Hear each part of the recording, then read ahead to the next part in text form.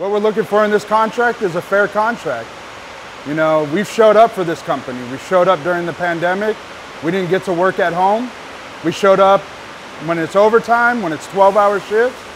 We constantly show up. And all we're asking the company to do is to show up for us and give us a fair contract.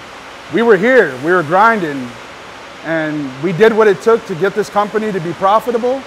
So now we're asking to share that with us.